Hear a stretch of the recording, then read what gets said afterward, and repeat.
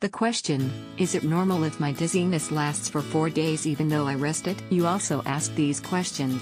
I'm only 14 years old and I got suddenly feel dizzy after going outside and after I didn't sleep enough.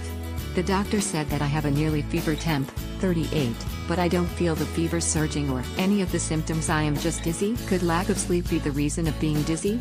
Also, the doctor diagnosed that I have a fever, but I don't feel any symptoms of it, I am just dizzy. The doctor said that my body temperature is 38. No, it's not normal, but. Did the doctor say what was causing your low grade, 100.4, temperature? What kind of follow up instructions did the doctor give you? Have you been drinking lots of liquids? Basically, you dizziness could be a result of whatever was making you sick in the first place, but only your doctor knows that information, so you should let your parents, or guardians, know what is going on.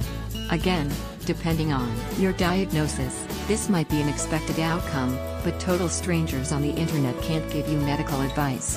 Get back in touch with the doctor.